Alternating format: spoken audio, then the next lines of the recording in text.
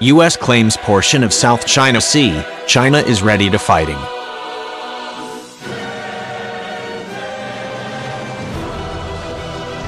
The United States military posture in the Indo-Pacific region is eroded due to political infighting, costly engagements elsewhere and other debilitating factors, giving a rapidly rising China the upper hand in the event of a conflict, according to a new report.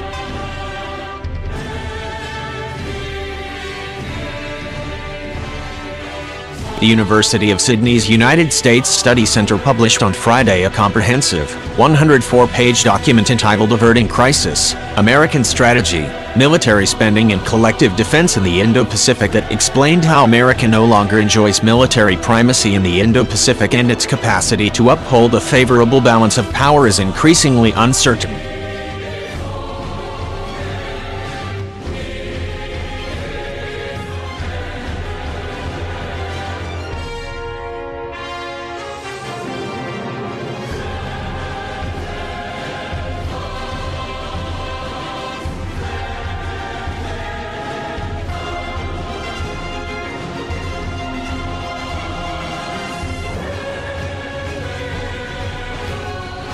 The report focused on China as a great power competitor identified as a top adversary in President Donald Trump's 2018 National Defense Strategy.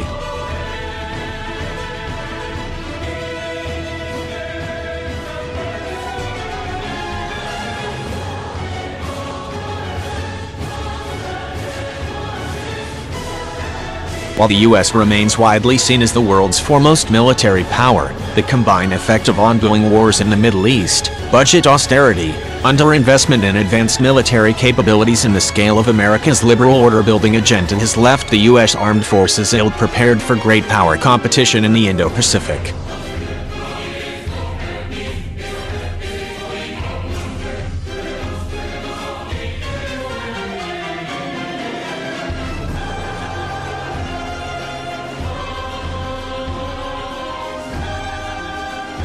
Having studied the American way of war premised on power projection and all military dominance China has deployed a formidable array of precision missiles and other counter-intervention systems to undercut America's military primacy, the report found.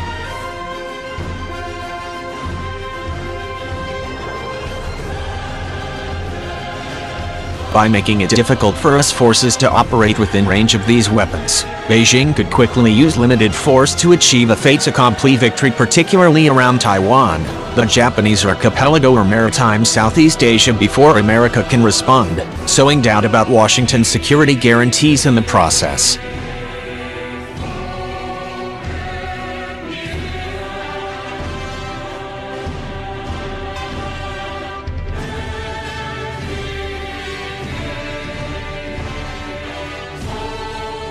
While the U.S. has been largely fixated on open-ended counterinsurgency campaigns especially in the Middle East throughout the 21st century, China has managed to modernize its air and sea fleets and greatly expand its land-based missile arsenal in order to shore up its own ability to defend its interests in another energy-rich region, the strategic waters spanning the Indian and Pacific Oceans. Many of Beijing's goals here conflict with those of Washington.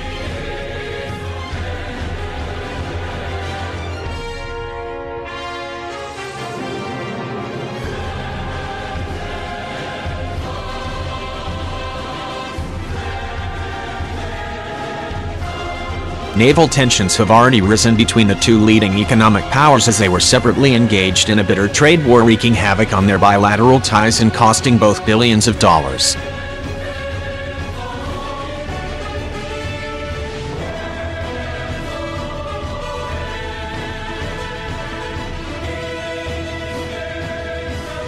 The U.S. does not recognize China's vast claims in the South China Sea, nor to the self-ruling island nation of Taiwan, which was reportedly set to receive $8 billion worth of new F-16V fighter jets in the latest move to stir outrage in Beijing.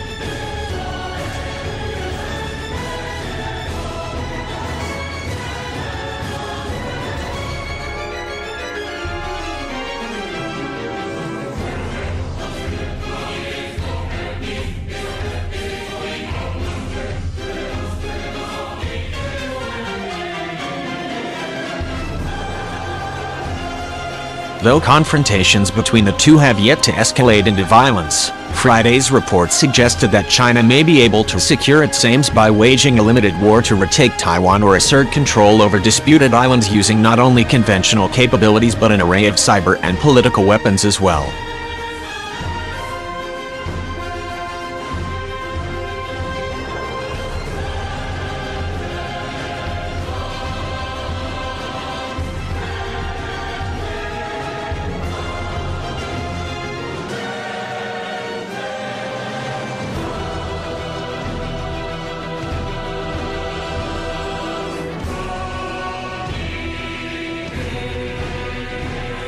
The paper found, in all these scenarios, Beijing's aim would be to strike first to secure long-standing political goals or strategically valuable objectives before the United States can do anything to stop it.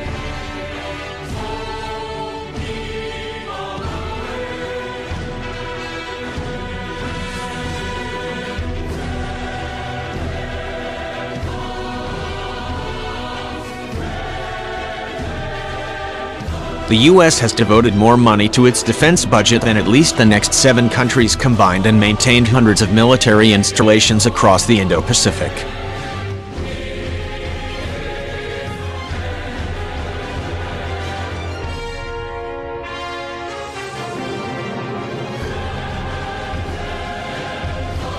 However, an outdated superpower mindset that regards America's role in the world as defending an expansive liberal order meant the Pentagon may be stretched to thin and Washington too distracted to address a Chinese challenge in time, according to the report.